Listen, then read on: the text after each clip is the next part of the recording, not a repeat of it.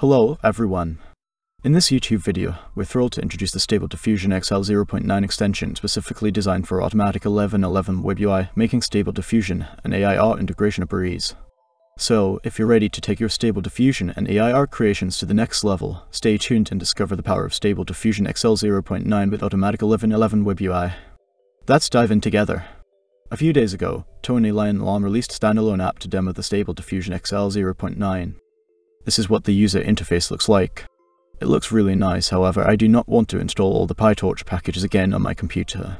And I think I can try to make it run inside the automatic 1111 Web UI. And maybe add some other features like changing the size of the image and choosing am I'm using the seed. Therefore, I made the extension. Today we are going to install that extension to the Web UI. To install, go to the extension GitHub repository, copy the repository location, Go to the Web UI Extensions tab. Choose Install from the URL. Paste the copied link to the text input box. Click the Install button. After the installation finish, stop the Web UI and then restart it.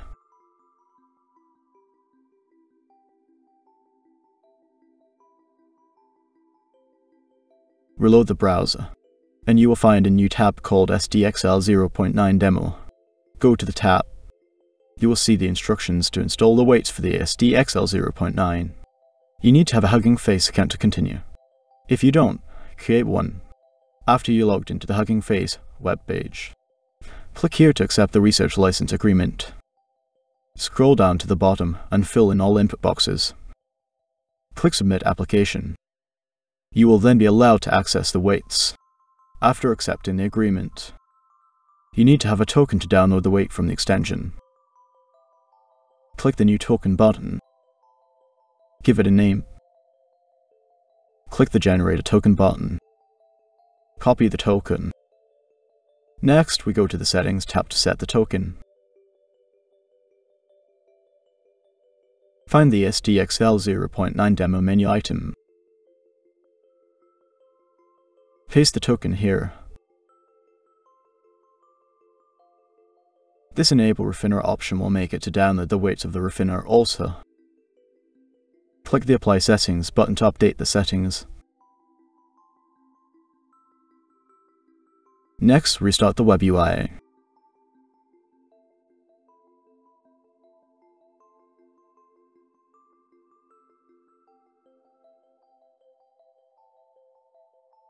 It will download the SDXL weights now.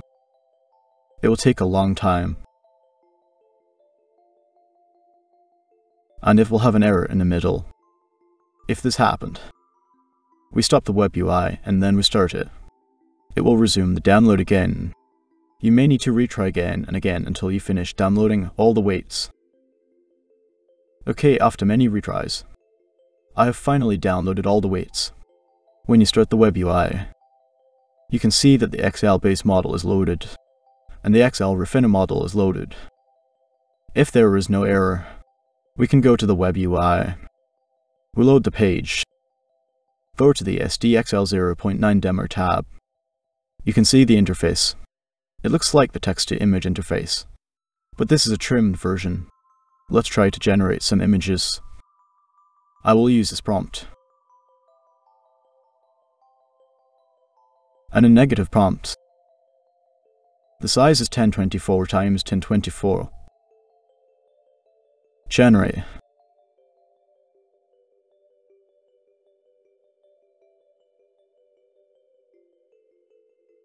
Okay, it's done. This is the image. We can click it to enlarge it. Let's try another one. We choose batch size 2 this time. The prompt will be a bronze statue. There is no sampler option here, This time set the sampling steps to 25. January.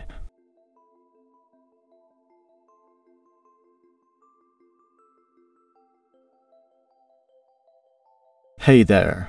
If you're enjoying the content so far, make sure to hit that like button, and subscribe to our channel for more videos like this. By hitting that subscribe button, you'll be the first to know when we release new videos. Don't forget to turn on notifications as well, so you never miss out. Okay, I am able to generate two 1024 times 1024 images in one batch. You can see the PNG info here.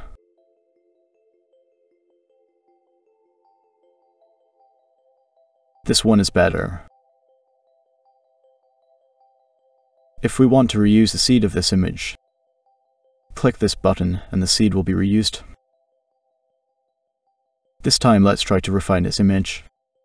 We can set the refiner strength. Let's try setting it to 0.4. We only need one image, so set the batch size to 1. Generate.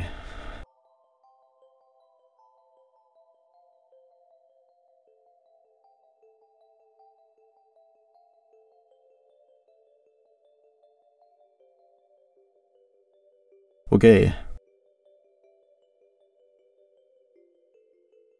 This one is the original image. This one is the refined image. We now try to generate images of different size. Set the prompt to Aurora. Change back the seed to the random. Let's try a landscape orientation. Set the CFG scale higher. Generate.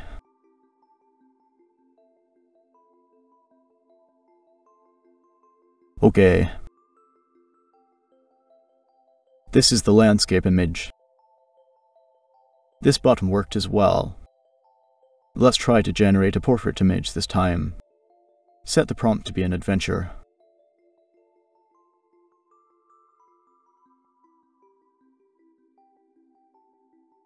Okay, this is the portrait image.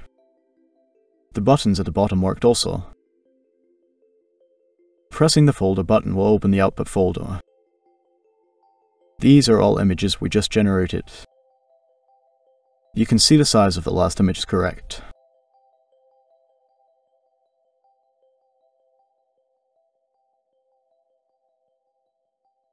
Let's try to send to the image to image tab. Okay, the image is sent. But the prompt is not. Send to Inpaint. No problem. Send to extras. No problem. The PNG info also worked. Drag the image to the PNG info. The parameters are shown here.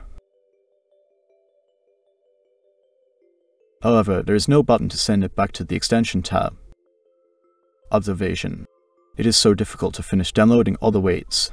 We need to retry many times. Also, other extensions like ControlNet cannot be used with the SDXL model in extension. Conclusion. The Refiner can actually be a standalone app or extension, because it only needs the prompts and the original image. Perhaps I will create one separately later. Thank you very much. If you enjoyed this video and want to learn more about Stable Diffusion and LoRA training, hit that subscribe button and turn on notifications so you never miss a video. I will put up the other video soon. You can also find all the models and images in my Patreon account. The link can be found in the description. Thank you and see you in the next video.